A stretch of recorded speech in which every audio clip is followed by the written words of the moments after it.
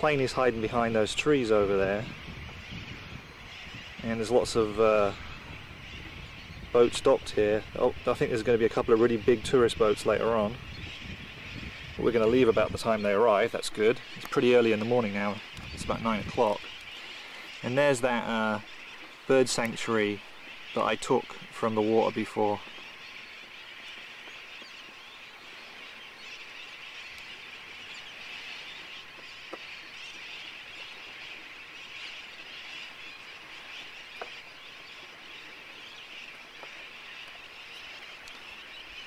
And they have some like piers and docks here where there's a lot of nesting birds. I guess they nest up there because predators can't get anywhere near them. As if there were any predators here, eh?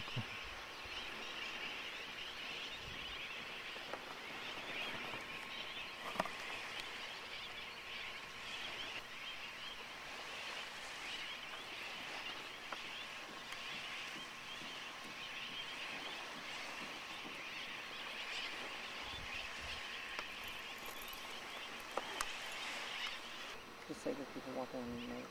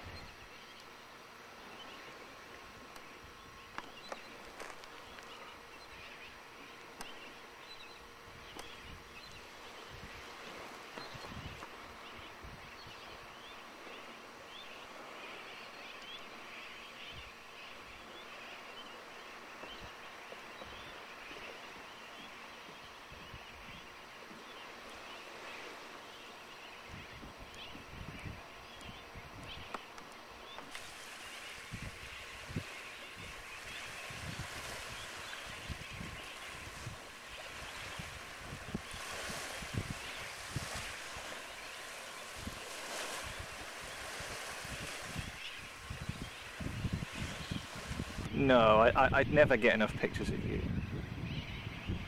So you said there was another lighthouse nearby? Well, apparently, when they is decommissioned this lighthouse, they Speak up because you have to get close to the camera, sorry. when they decommissioned this lighthouse, apparently they had already built another lighthouse on that key over there. So we'll have to find out about that.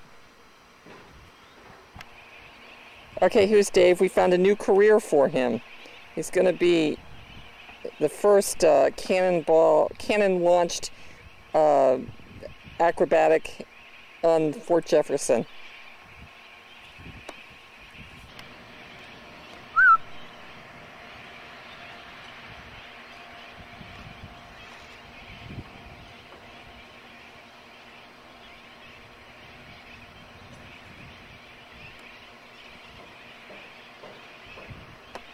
This was a rifling cannon, and this type of cannon could uh, put a, uh, it's called a Parrott rifling cannon, could put a, a much heavier shell, much more accuracy over a long distance and could go through brick walls. So basically guns like this made this fort obsolete because it's made of brick.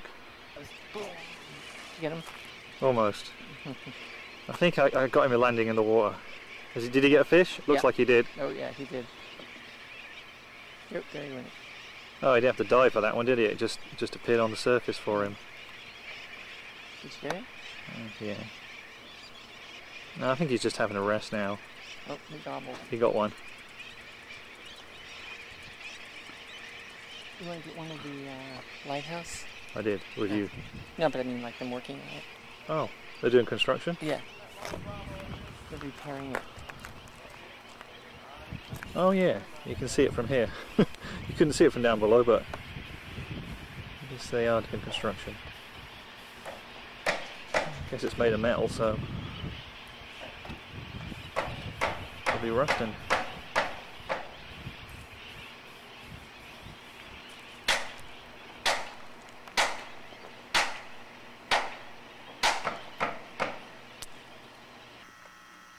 I added this photograph later on when we came back home.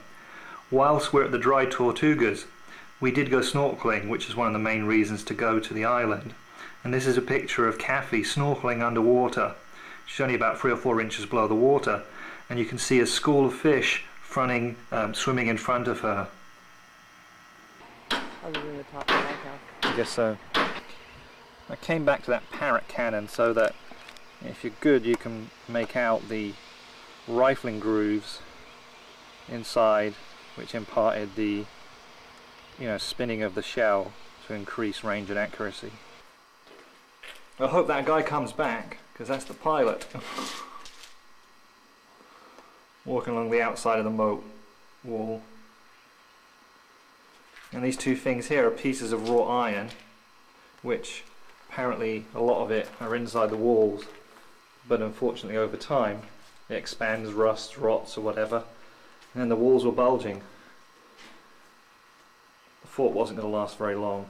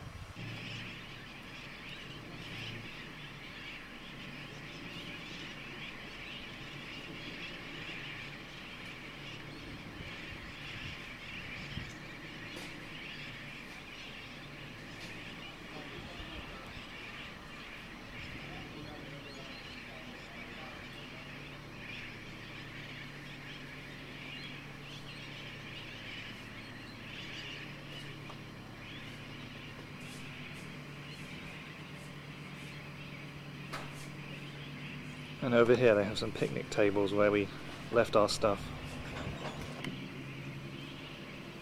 And you can actually camp overnight. And there's some tents over there I believe. Though apparently to come as a passenger on the seaplane is like $159. To come as a camper they charge you about 300 because of all the extra camping gear you have to bring.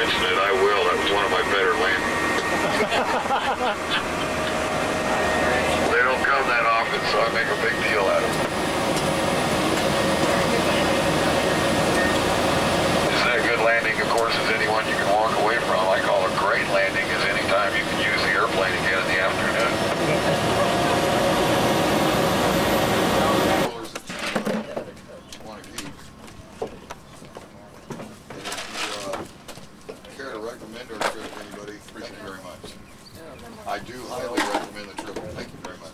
The trip you were just on, This is perfect. This is a view down Margaret Street, which adjoins Eaton Street where the Bahama House was. And one day, many years ago, little Kathy and little Debbie brought little Peggy and a homemade raft down to the dockside here, the end of Margaret Street, put the raft in the water and then use Peggy as a guinea pig. It sank. Now it's used for uh, glass bottom boat cruises and fishing charters and things. That's where a lot of boats leave. Even some, some sunset cruises.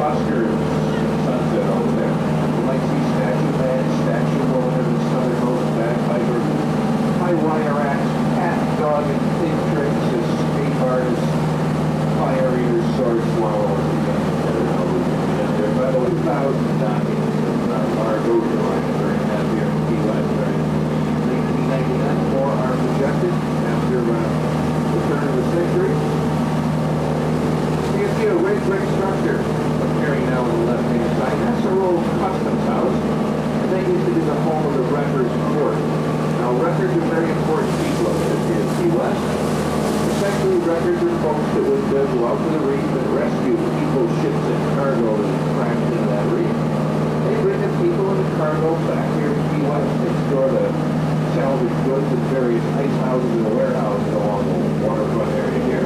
And on every Saturday morning during the wrecking hour, there'll be a public auction for those salvage goods, as they say in that red brick building. That's where the record store was located. That uh, originally was our customs house completed in 1891. Right now it's being converted into a park museum. Slated for opening uh, this uh, year. You see how true this is?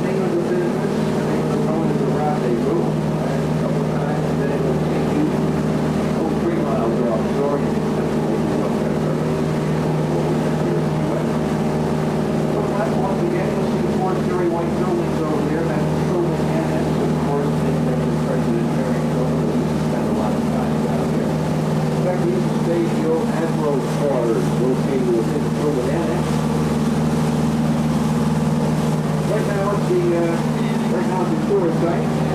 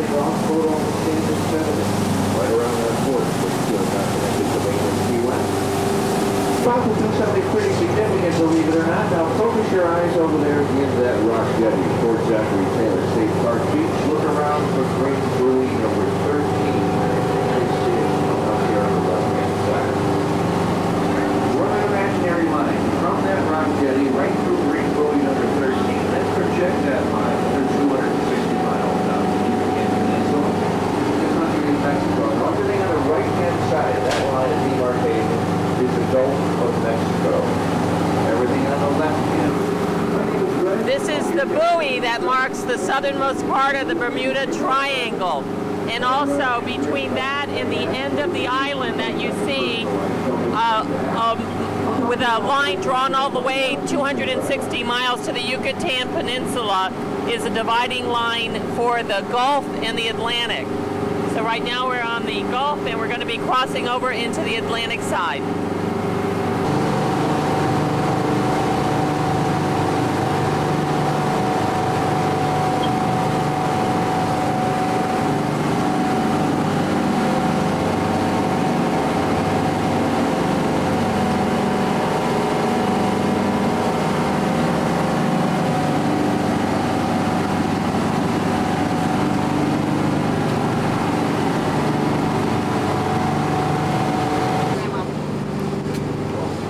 Yeah, no.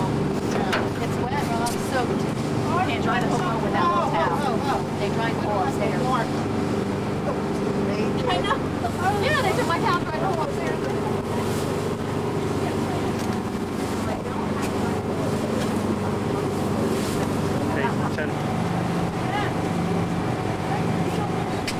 That's where, this is where you catch dolphins at right here, buddy. You get, you get an impression that it goes much faster when you're back, don't you? Oh yeah. Because the front, the front you hardly feel it.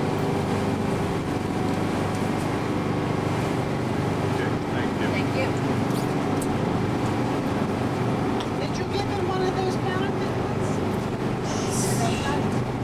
Think I'm gonna give you some money, Mom? You crazy? Better check my 20. She's on the boat. That's what we talk like that. That'll get you in trouble. That-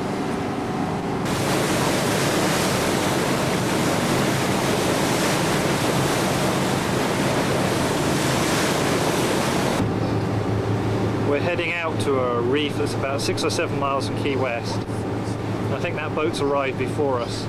So that's the general area where we're going to be.